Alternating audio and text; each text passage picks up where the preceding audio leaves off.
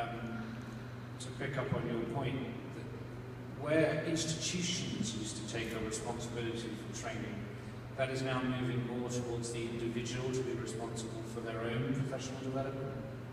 Actually, if you see and uh, visit the figures of the amount of dollars has been spent on uh, training by corporate this year, 2014, it's around 224 billion dollars.